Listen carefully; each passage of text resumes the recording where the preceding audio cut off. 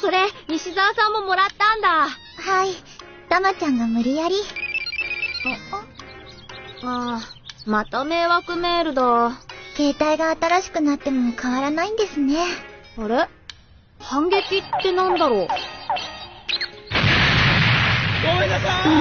迷惑メールを送った犯人。すごい犯人を探し出してすぐに反撃してくれるんだこれなら、迷惑メールを送る人もいなくなり